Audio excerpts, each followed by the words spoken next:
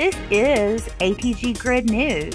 I'm Jessica Akiko. I am Zack Haiku. Our top stories.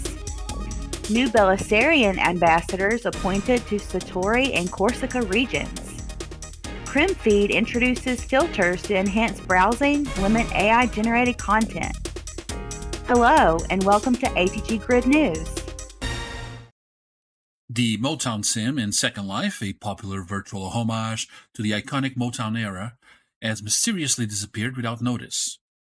Created during the platform's 20th anniversary SL20B, The Sim was a cultural hub where users could enjoy legally streamed Motown music through an innovative HUD.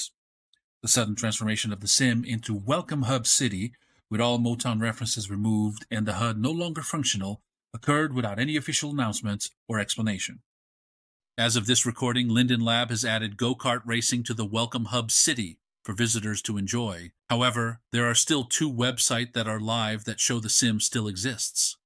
The link connecting to the destination directory when clicked shows the page can no longer be found. This unexpected change raises concerns about transparency in the management of Second Life's communities. New Bellisserian ambassadors have been appointed effective immediately. Her Excellency Dreamy Fairelander has been named Honorary Ambassador to Satori, while Her Excellency Liberty Fairelander will serve as Honorary Ambassador to Corsica. H. E. Liberty, a well known journalist and photographer, expressed her deep connection to Corsica, where she has lived for seven years, and her excitement to strengthen ties within its vibrant community. H.E. Dreamy, a 16 year resident of Second Life, brings extensive community involvement to her new role as Satori Ambassador. Formal appointment ceremonies, including the presentation of embassy keys, will be announced soon, followed by celebratory events. The Bellisseria diplomatic list has been updated to reflect these new appointments, and those interested in ambassadorial roles are encouraged to contact Bell or Jezebel Bailey. Primfeed has introduced significant updates aimed at enhancing the browsing experience for its users as it celebrates its first month. The public gallery now allows users to filter out content generated by AI or renders, ensuring a more personalized and authentic Second Life experience.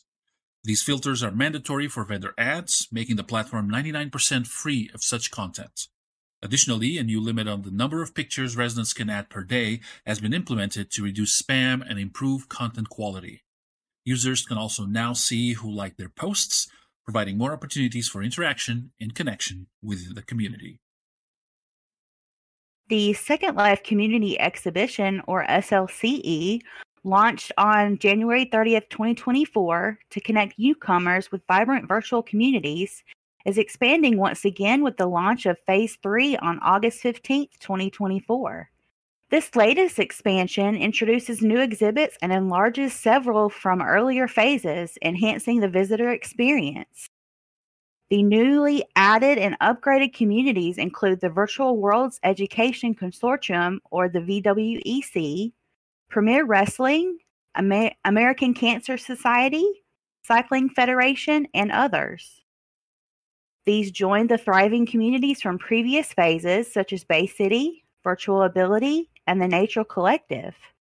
The SLCE continues to grow with plans for further expansions to showcase the diversity and richness of Second Life's virtual world.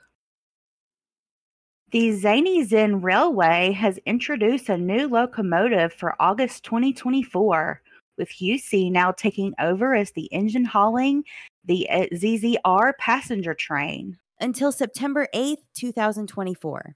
The locomotive has already been spotted chuffing across the Siogio level crossing, marking the start of its service for the month. Then Montgomery comes in just in time to see the leaves begin to change until the 7th of October. As of July 29, 2024, Tilia LLC has updated its user terms of service, reflecting several key changes. The most notable revisions include the removal of specific paragraphs in sections 9.2 and 9.3 regarding transaction refusal and suspension procedures, as well as the repositioning of a paragraph in section 9.5 on identity verification.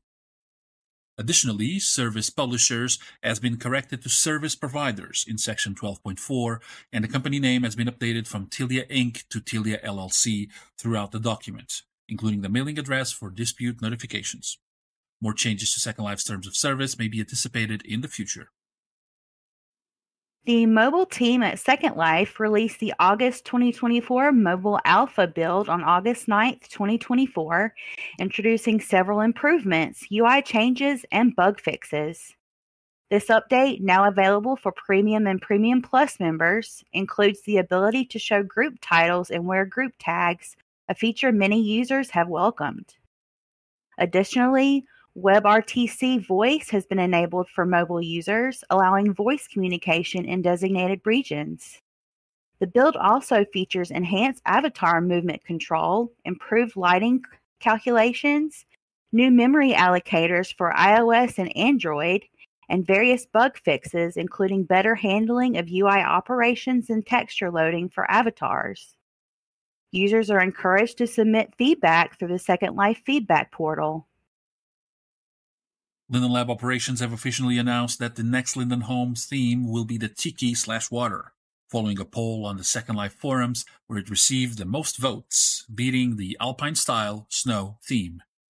The decision, revealed on August 5th, 2024, comes after delays attributed to off-site training for the development team, which caused a backlog in their schedule. Work on the new team is expected to commence soon, with the lab currently determining whether it will be available under Premium or Premium Plus tiers. The team is now focused on catching up with the delayed work. This has been ATG Grid News. Enjoy the grid.